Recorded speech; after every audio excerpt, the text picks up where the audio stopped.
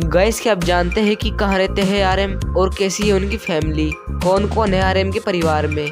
और आखिर कौन सी गाड़ी चलाते हैं आरएम गैस बीटेस और उनकी लाइफ के बारे में जानने के लिए आर्मी हमेशा उत्सुक रहती है। सभी जानना चाहते हैं कि बीटेस की लाइफ कैसी है। उनके फैमिली में कौन कौन है? उनका घर कैसा है और कहाँ है? सभी बीटेस मेंबर्स के पास कौन सी कार है?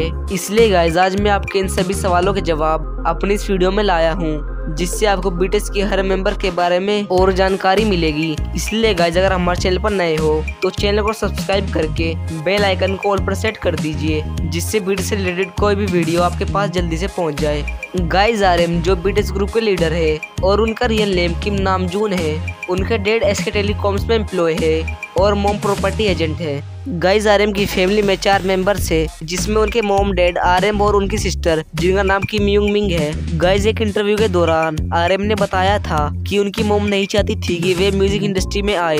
वह चाहती थी कि आर अपना करियर किसी और फ़ील्ड में बनाए, जिसमें वे स्टेबल रह सके। गाइज़ इसके अलावा आर की एक कज़न सिस्टर भी है, जो की एक बॉक्सर है और उनका नाम शिव जूनियन है। गाइज़ आर के पास दो फ्लैट है, जो शियोल की most expensive locality Hannam The Hill, जिसकी कीमत लगभग पचास करोड़ है।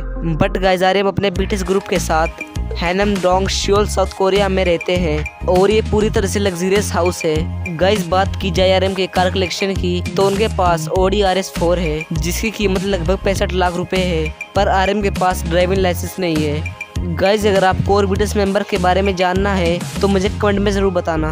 गैस यही थी मेरी आज की वीडियो अगर आपको पसंद आई हो तो वीडियो को लाइक कर कर चैनल को सब्सक्राइब कर दीजिए गैस फिर मिलेंगे न्यू वीडियो के साथ तब तक के लिए बाय बाय 좀 꺼줘요? 너무 낯설어요?